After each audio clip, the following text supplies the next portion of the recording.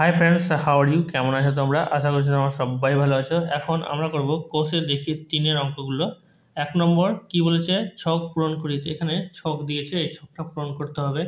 একটা করে লাইনের দিয়ে দিয়েছে, কোনটা সমানুপাতি আর কোনটা সমানুপাতি না। তো এখানে এটা কীভাবে করেছে? দেখিয়ে দিই। তো এটা সমানুপাতি এই যে সংখ্যা চারটা সংখ্যা সমানুপাতি কীভাবে সমানুপাতি তো এই যে প্রথম আর শেষেরটা, প্রথম মানে আট গুণ হচ্ছে কুড়ি। আট গুণ কুড়ি কত হবে? আট দুনা হচ্ছে ষোলো, একশো ষাট। এরপর মাঝের দুটো যে আছে, দশ গুণ ষোলো। তো দশ গুণ ষোলো কী হবে? একশো ষাট। কী আছে? দুটোই একই আছে, সমান আছে। তো এই কারণে এই সমানুপাতির ঘরে বসানো হয়েছে। আর এটা এটা দেখে নিই, কত আছে? প্রথম আর শেষেরটা, পঁচিশ গুণ পনেরো। পঁচিশ গুণ পনেরো আর তিরিশ গুণ বারো। তিরিশ গুণ বারো কত হবে? তাহলে পঁচিশ গুণ পঁচিশ গুণ পনেরো, কত হবে? পনেরো পাচ্ছে পঁচাত্তর, পঁচাত্তরের পাঁচ, হাত থাকল সাত, আর পনেরো দুনা তিরিশ তিরিশ সাত সাঁত্রিশ তিনশো, কত বেরোচ্ছে? পঁচাত্তর, এখানে বারো শূন্য কী হবে? শূন্য, আর বারো তিনে চব্বিশ। তাহলে কত বের হলো? দুশো চল্লিশ, তো দুটাই সমান নাই। সমান আছে, সমান নাই, এই জন্য সমানুপাতিক নয়। এরপর দেখে দিই, পরেরটা। কত আছে? পাঁচ, সাত, পঁচিশ, পঁয়ত্রিশ। তো পাঁচ, প্রথমেরটা আর শেষেরটা পঁয়ত্রিশ। পাঁচ গুণ পঁয়ত্রিশ। পাঁচ গুণ পঁয়ত্রিশ, পাঁচে পাঁচে পঁচিশ আর পাঁচ তিনে পনেরো, ষোলো, সতেরো, একশো পঁচাত্তর। এরপর মাছের দুটো যে আছে, এটা দেখে নিই সাত গুণ পঁচিশ, সাত গুণ পঁচিশ, কত বের হবে? সাত পাঁচে পঁয়ত্রিশ, পঁয়ত্রিশের পাঁচ হাত থাকল তিন। সাত দুনা চোদ্দ চোদ্দ পনেরো, ষোলো, সতেরো। তাহলে দুটাই সমান আছে। তাহলে কোন কোথায় বসবে? এখানে বসবে। সমানুপাতি ঘরে বসবে। এরপর পরেরটা কত আছে? চার, দশ, তিরিশ, আঠারো। চার আর আঠারোর গুণ করব। চার গুণ আঠারো। কত বের হবে? চার আটে বত্রিশ। বত্রিশে দুই হাত থাকল তিন, চার একে চার, পাঁচ, ছয়, সাত, বাহাত্তর বের হলো। এরপর মাঝে দুটা, দশ, তিরিশ, দশ গুণ তিরিশ। কত বের হবে? তিনশো, তাহলে মিল আছে, মিল নাই। তো এটা কি হবে? কোন জায়গায় বসবে? এখানে বসবে। এখানে বসবে। এরপর পরেরটা, পাঁচ আর কুড়ি। পাঁচ গুণ কুড়ি, পাঁচ গুণ কুড়ি সমান সমান পাঁচ গুণ কুড়ি। মানে প্রথমেরটা আর শেষেরটার মাঝে আছে কত? দশ গুণ ষোলো। তো পাঁচ দুনে দশ, কত হলো? একশো। আর এখানে একশো ষাট, ষোলো, একে ষোলো আর শূন্য বসে গেলো একশো ষাট। তাহলে এখানেও মিল নাই।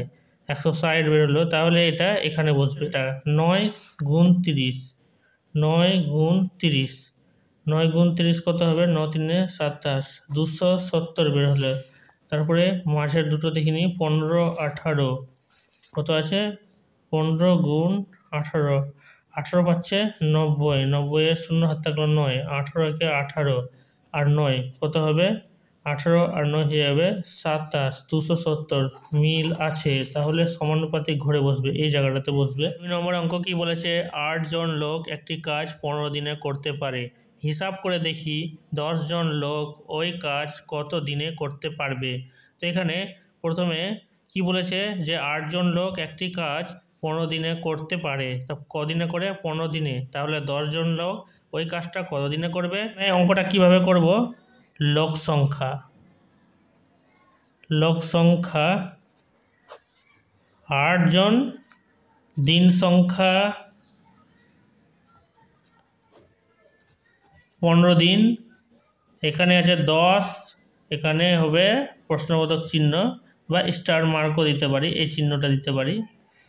তো এখানে বলেছে যে আটজন লোক পনেরো দিনে করে, দশজন লোক কত দিনে করবে? তো এখানে লোক সংখ্যা কি হয়েছে? এখানে লোক সংখ্যা আছে আটজন, আর এখানে কি হয়েছে? বেড়ে গেছে। তাহলে এখানে সম্পর্কটা হবে ব্যস্ত সম্পর্ক ব্যস্ত সম্পর্ক। অতএব দিয়ে লিখব তাহলে, এটাকে আগে লিখব দশ টু আট, পনেরো টু স্টার মার্কটা দিই। এই দুটাকে কি করব? গুণ করব। আট গুণ পনেরো। আর দশটাকে নিচে লিখব। পাঁচ দিয়ে কাটি, পাঁচ তিনে পনেরো, পাঁচ গুণা দশ, এরপর দুই দিয়ে কাটি, দুই একে দুই দু চারে আট। চার তিনে কত হবে? বারো। তাহলে কি হবে? তো লিখতে হবে এইভাবে, অতএব ওই কাজটি বারো দিনে করতে পারে। তো এটা হবে কি? আনসার তিন নম্বর অঙ্ক কি বলেছে? কিছু পরিমাণ খাদ্যে বারো জন লোকের কুড়ি দিন চলে। হিসাব করে লিখি, ওই খাদ্যে চল্লিশ জন লোকের কত দিন চলবে? তাহলে বারো জন লোক লোক সংখ্যা কত হবে? লোক সংখ্যা লোক সংখ্যা হচ্ছে বারো জন, আর দিন সংখ্যা দিন সংখ্যা দিন সংখ্যা হচ্ছে কুড়ি দিন। এরপর লোক সংখ্যা কত আছে? চল্লিশ। আর দিন সংখ্যা এখানে স্টার মার্ক দিয়ে দিলাম।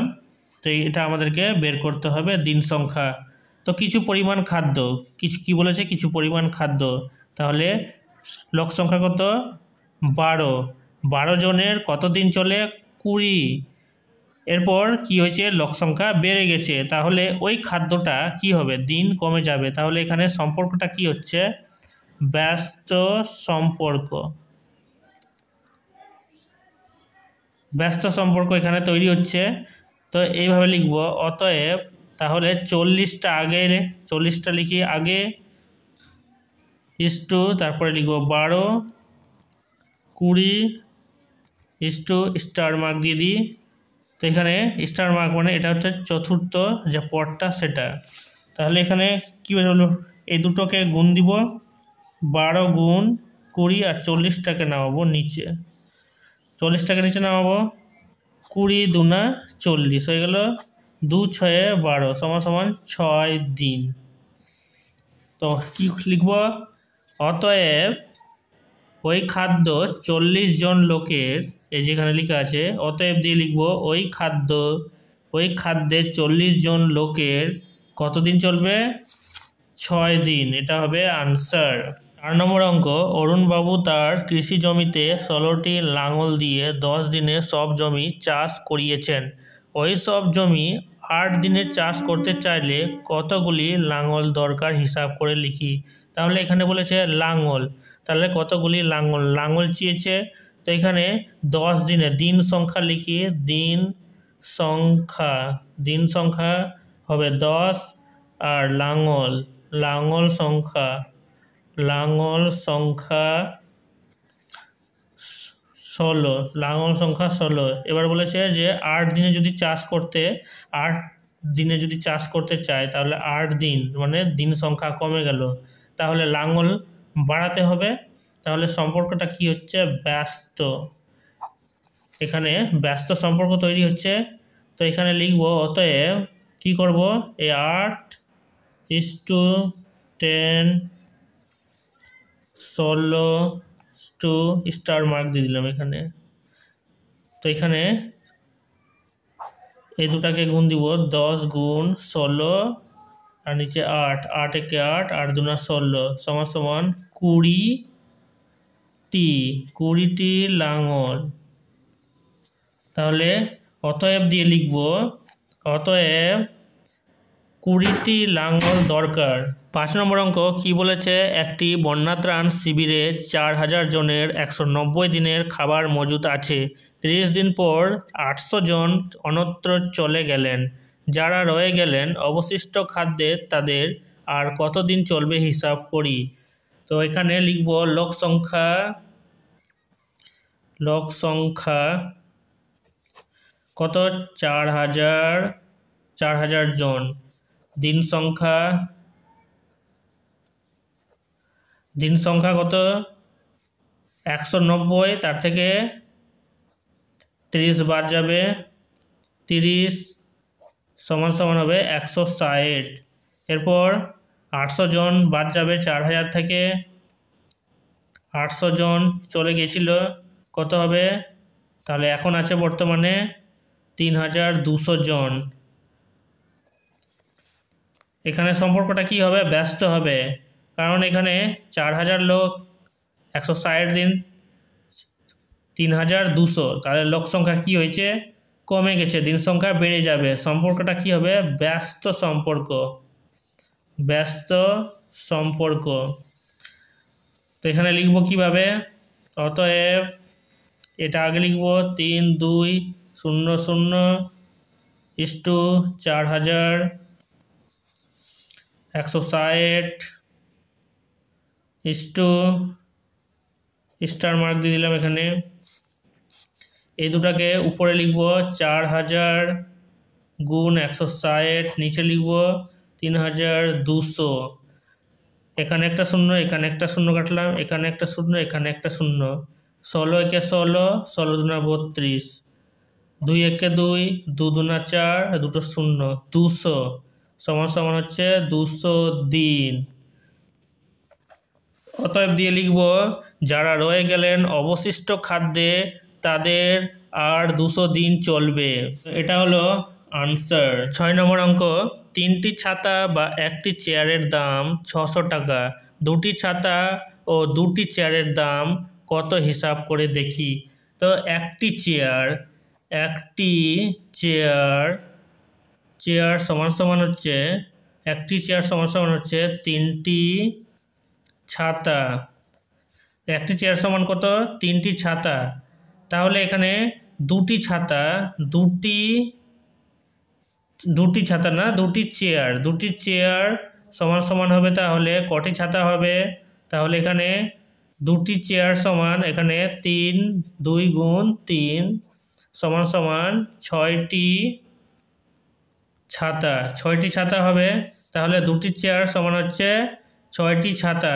তাহলে এখানে দুটি ছাতা যোগ দুটি দুটি চেয়ার দুটি চেয়ার, দুটি ছাতা, দুটি চেয়ার। তাহলে দুটি ছাতা দুটি ছাতা দুটি ছাতা, আর কত? দুটি চেয়ার দুটি চেয়ার সমান হচ্ছে ছয়টি ছাতা। তো এখানে দুটি ছাতা যোগ ছয়টি ছাতা ছয়টি ছাতা। তো কত হলো? সমান সমান আটটি ছাতা। তাহলে এভাবে লিখব যে তিনটি। এখানে কি বের হলো? ছাতা বের হলো। তো ছাতা সংখ্যা, লিখে দিলাম এখানে ছাতা সংখ্যা। ছাতা সংখ্যা প্রথমে কত? তিন। তারপরে একটা আছে দাম। দাম কত? ছশো টাকা। তারপরে আটটি আটটি ছাতা, দাম কত? বের করতে হবে। তো এখানে সম্পর্কটা কি হবে? ছাতা ছশো টাকা, তিনটি ছাতার দাম ছশো টাকা। তাহলে এখানে ছাতা সংখ্যা বেড়ে গেছে, তো দাম বাড়বে। সরল সম্পর্ক, এখানে হচ্ছে সরল সম্পর্ক। সরল সম্পর্ক, অতএব লিখব, সরল সম্পর্ক, তাহলে এইভাবে লিখব। এটা এটা, ব্যস্ত সম্পর্কে আগে এটা লিখেছিলাম, তারপরে এটা লিখেছিলাম, আর সরল সম্পর্কে এটা আগে লিখব। Three is to eight six hundred is to star mark দিয়ে দিলাম, এই দুটোকে আগে লিখব, উপরে যাবে আট গুণ ছশো, আর নিচে হবে তিন তিন দুগুণা ছয়, আর দুটো শূন্য বসল। তিন দুগুণা ছয়, দুশো দুশো, আট দুগুণা হবে ষোলো। ষোলোশো টাকা, এটা হবে আনসার তো অতএব লিখব যে দুটি, অতএব দিয়ে লিখব দুটি ছাতা ও দুটি চেয়ারের দাম ষোলোশো টাকা। সাত নম্বর অঙ্ক, আমাদের শ্রেণীতে আজকে আমাদের উপস্থিত ও অনুপস্থিতির অনুপাত নির্ণয় করি। আর ষষ্ঠ শ্রেণীরও উপস্থিত ও অনুপস্থিতির অনুপাত বের করি। দুটি অনুপাত সমান কিনা দেখি। চারটি সংখ্যা অনুপাতে আছে কিনা দেখি। তাহলে প্রথমে আমাদের শ্রেণির বের করি। আমাদের শ্রেণি আমাদের শ্রেণি উপস্থিত। উপস্থিত উপস্থিত ধরে নিলাম যে উপস্থিত সত্তর, অনুপস্থিত। উপ, অনুপস্থিত কুড়ি ধরলাম। তাহলে অনুপাত যদি বের করি, অনুপাত অনুপাত সত্তর ইস টু কুড়ি সমান সমান একটা করে শূন্য বাদ সেভেন ইস টু টু এরপর কোন শ্রেণির বলেছে? ষষ্ঠ শ্রেণির। ষষ্ঠ শ্রেণি, ষষ্ঠ শ্রেণির ধরি, উপস্থিত। উপস্থিত ধরিলাম পঞ্চাশ, অনুপস্থিত অনুপস্থিত, ধরে দশ। অনুপাত বের করি, অনুপাত। অনুপাত কত হবে? পঞ্চাশ ইস টু দশ সমান সমান কত হবে? একটা করে শূন্য বাদ দিলাম ফাইভ ইস টু ওয়ান তো এরপর কি বলেছে? পরেরটাতে বলেছে, চারটি সংখ্যা অনুপাতে আছে কি না সংখ্যা, এক, দু, তিন, চার সমানুপাতে আছে কি না seven is to two five is to one এই দুটার গুণফল আর এই দুটার গুণফল। এই দুটার গুণফল, এই দুটার গুণফল কত হচ্ছে? সেভেন ইন্টু ওয়ান সমান সমান সাত টু ইন্টু ফাইভ দু পাচ্ছে দশ। তাহলে দুটাই আলাদা হচ্ছে, সমানুপাতে নাই। আট নম্বর অঙ্কে কি বলেছে? বিভিন্ন রঙের ঘরের সংখ্যা গুণি। এই যে বিভিন্ন রঙের ঘরগুলো যে আছে, আমরা দেখছি, এগুলোর সংখ্যা গুনতে বলেছে।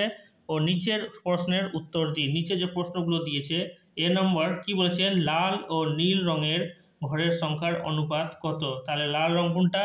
এটা হচ্ছে লাল রং। লাল রং কটা আছে? এক, দু, তিন, চার, পাঁচ, ছ, সাত, আট, নয়, দশ, এগারো, বারো, তেরো, চোদ্দ, পনেরো। আরও আছে? ষোলো, সতেরো, আঠারো। এদিকে আছে? উনিশ, কুড়ি, একুশ, বাইশ, তেইশ, চব্বিশ, পঁচিশ, ছাব্বিশ, সাতাশ। সাতাশ। তাহলে লাল রঙের যে ঘর, কটা আছে? সাতাশ আছে। সাতাশ টু এরপর কি বলেছে? নীল রঙের ঘর। এই যে নীল রঙের ঘর, এক, দু, তিন, চার, পাঁচ, ছয়, কটা আছে? ছটা আছে। তাহলে এটা কত বের হবে? এটা লাল আর এটা হচ্ছে নীল রং। তাহলে তিন দিয়ে ভাগ দিই দুটাকেই। তিন রং সাতাশ, তিন দুগুণা ছয় নাইন ইস টু টু কত বের হচ্ছে আনসার তো এখানে লিখব অতএব দিয়ে, অতএব লাল ও নীল রঙের ঘরের সংখ্যার অনুপাত কত? নাইন ইস টু টু এরপরে বি নম্বরটা, বাদামি ও বেগুনি রঙের ঘরের সংখ্যার অনুপাত কত? তাহলে বাদামি রঙের কটা আছে? এক, দু, তিন, চার, পাঁচ, ছয়। ছকে ছ ছ দুগুণা বারো, ছ তিন আঠারো, ছ ছয় চব্বিশ, ছ পাঁচ ত্রিশ, ছয় ছয় ছত্রিশ। কটা আছে? ছত্রিশটা। ছত্রিশটা আছে। এরপর কি বলেছে? বেগুনি রং। বেগুনি রঙের ঘর কটা আছে? এক, দু, তিন, চার, পাঁচ ছ সাত, আট ন দশ, এগারো, বারো, তেরো। তেরোকে তেরো তেরো দুনে ছাব্বিশ, তেরো দুনে উনচল্লিশ। কটা আছে? উনচল্লিশটা।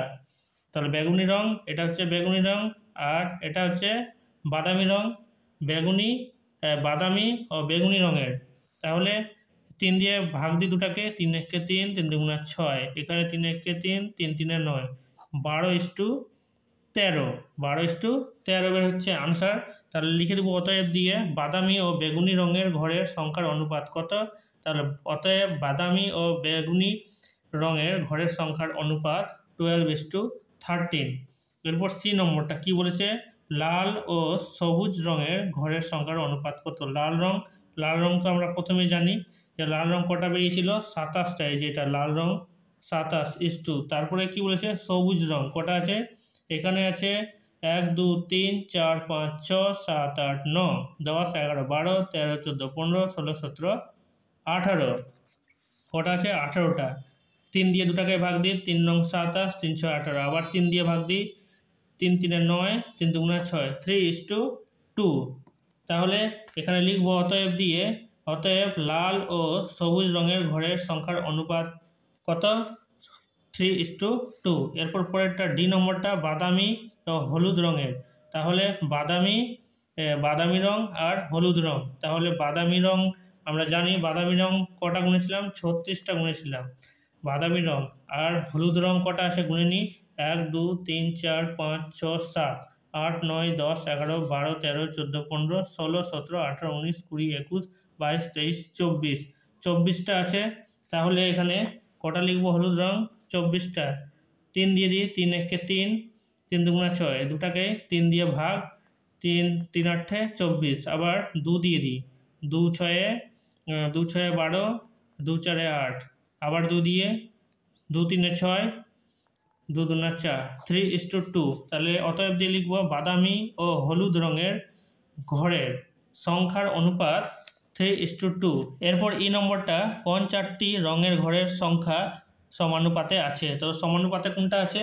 একটা সি নম্বর একটা D number three is to two three is to two কেমন করে? Three is to two three is to two দুটাকে যদি গুণ দিই, আর এই দুটাকে গুণ দিই। Three into two six two into three six তাহলে সমানুপাতে আছে, সমান আছে।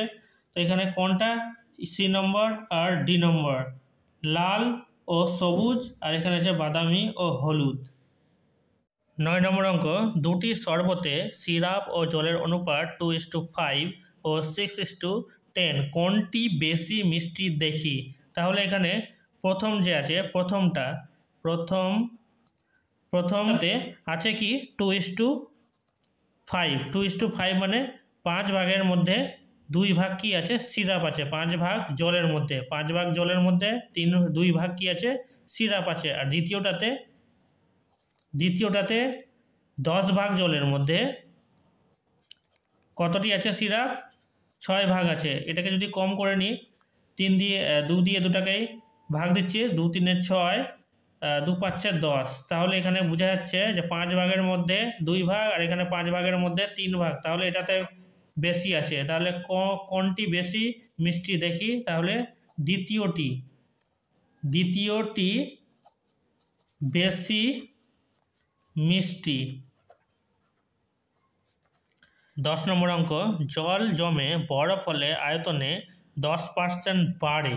কিছু পরিমাণ জল ও তা থেকে বরফের আয়তনের অনুপাত কত লিখি? তাহলে কি বলেছে?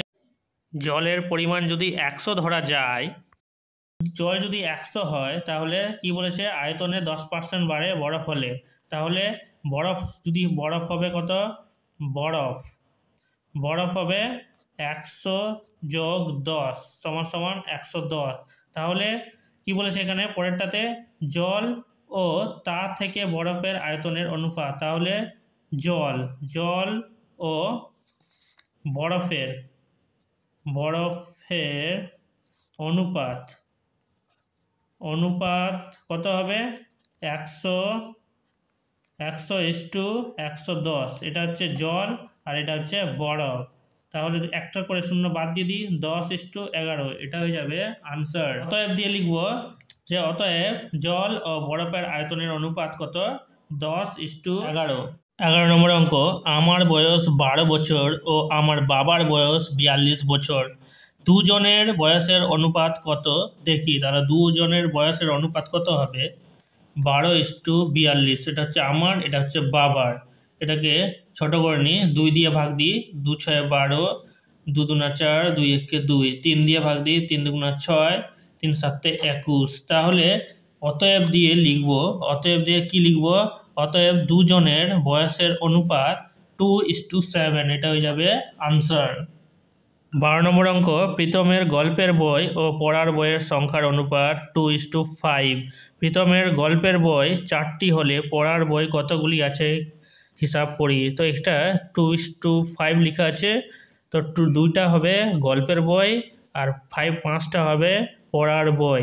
এখানে চারটা কি আছে? গল্পের বই, পড়ার বই, এখানে হবে কোয়েশ্চেন মার্ক বা স্টার দিলাম এখানে। তো এখানে কি করব? এই দুটার গুণ করব। পাঁচ গুণ চার আর নিচে লিখব দুই। দুই একে দুই, দু দুনা চার। তাহলে কত হবে? দশ। তাহলে অতএব দিয়ে লিখব কি? যে পড়ার বই দশটি আছে, এটা হবে আনসার তেরো নম্বর অঙ্ক, মালা গাঁথার জন্য জবা ও গাঁদা ফুল মিলিয়ে মোট একশো পাঁচটি ফুল তোলা হয়েছে। জবা ও গাঁদা ফুলের সংখ্যার অনুপাত থ্রি ইস টু ফোর কতগুলি জবা ফুল ও কতগুলি গাঁদা ফুল আছে, হিসাব করি। আর কতগুলি জবা ফুল দিলে দু রকম ফুলের সংখ্যার অনুপাতটি সমান হবে দেখি। তো প্রথমে যেটা আমাদের বের করতে হবে আনুপাতিক ভাগার কার কার? জবা আর গাঁদা ফুলের। তাহলে থ্রি ইস টু ফোর এটা হচ্ছে জবা আর এটা হচ্ছে গাঁদা ফুল। তাহলে জবার, লিখে দেবো জবার আনুপাতিক, জবা ফুলের আনুপাতিক ভাগার কত বের হবে? এই দুটার যোগ থ্রি প্লাস ফোর উপরে হবে থ্রি জবার বের করেছে জবার বের করতে হবে। ভাগার তিন আর নিচে হবে সাত। এরপর বের করব গাঁদা গয়চন্দাকার দয়াকার। গাঁদা, গাঁদার বের করব, নিচে হবে তিন যোগ চার, উপরে হবে এটা। গাঁদাটা চার সমান সমান হবে চার আর নিচে হবে সাত। এরপর কি করব? একশো পাঁচ যে আছে, মোট ফুল। এরপর এটা ভাগহারগুলো দিয়ে গুণ দিব। তাহলে জবা ফুল হবে, জবা ফুলের সংখ্যা বের হবে তিন, সাত গুণ। এখানে মোট কত আছে? একশো পাঁচটি ফুল, একশো পাঁচ গুণ দিলাম। সাত একে সাত সাত পাঁচে পঁয়ত্রিশ, পনেরো তিনে পঁয়তাল্লিশ। পঁয়তাল্লিশটি, এরপর গাঁদা গাঁদা ফুল, গাঁদা ফুলের সংখ্যা বের করি, চার, আর নিচে হবে সাত গুণ একশো পাঁচ। এটা যদি সাত দিয়ে কাটি তাহলে পনেরো বেড়ে পনেরো চারে ষাট, ষাটটি। তাহলে জবা ফুল কটা হলো? পঁয়তাল্লিশটি, আর গাঁদা ফুল হলো ষাটটি। যে কি বলেছে? আরও কতগুলি জবা ফুল দিলে? আরও কতগুলি জবা ফুল দিলে দুটারই সমান হবে। তো এই যে জবা ফুলটা আছে, কম আছে, তো দুটার অনুপাত কি বলেছে? সমান হবে। অনুপাতটি সমান হবে। তাহলে ষাট বিয়োগ পঁয়তাল্লিশ। কত বের হবে? পনেরো বের হবে। তাহলে আনসার কি হবে? এটা হবে আনসার অতএব দিয়ে লিখব, অতএব আরও পনেরোটি জবা ফুল দিলে দু রকম ফুলের সংখ্যার অনুপাতটি সমান হবে।